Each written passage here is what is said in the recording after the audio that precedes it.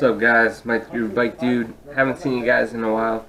Uh, I got the last piece of the puzzle to the bike. Ended up getting in the mail my new Shimano bottom bracket. So it's 127 millimeters long. Uh, it is a seal cartridge. So, so we're dealing with this to replace that old bottom bracket. So, let me just lay this out really quick.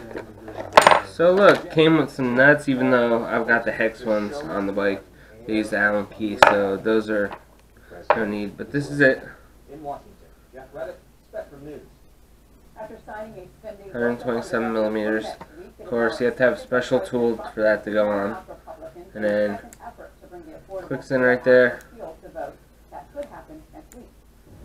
And then this is crank side.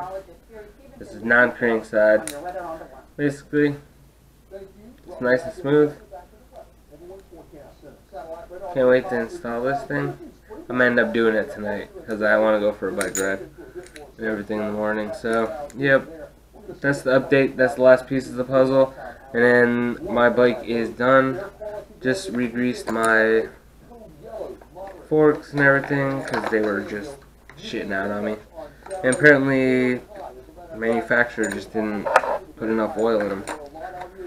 So, had to take them apart. Uh, that's why I got grease on my hands, grease on my shirt. But hey, that's cool. So, stay tuned. I'm going to show you guys how to do the bottom bracket.